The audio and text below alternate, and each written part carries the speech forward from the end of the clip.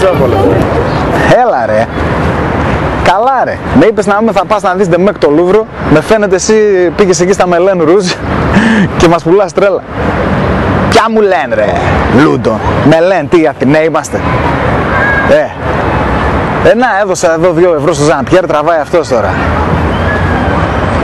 Ε, έχω κοσμοτέ όμως, μη μασάς, έχω τα λεπτά τα ίδια που έχω στην Ελλάδα.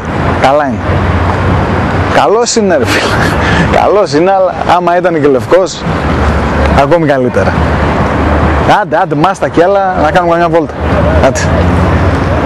Μοναμή μερσή μποκού, ατού τα λέω, φτάνει.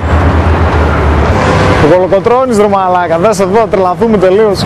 Ό,τι και έχουμε δικό μας, μας έρχονται και μας το παίρνουν ρε μαλάκα και τα βάζουν μετά ντεμέκ, τα πουλάνε ότι είναι δικά τους. Η καμάρα ρε μαλάκα. Μας κλέψανε την καμάρα ρε μαλάκα, τρελαθούμε τελείως, δεν σε δω. Κοίτα εδώ δεν είναι ολόιδια. Ε, εμ κλέφτες, εμ ψιλομύτιδες, εμ από όλα αυτοί οι Γάλλοι μας τρελάνουνε μια μέρα, τρελαθούμε. Ε, οι κυρίες πόσο φαίνονται εδώ δίπλα, καλές, ε, κάνουμε ένα ντου.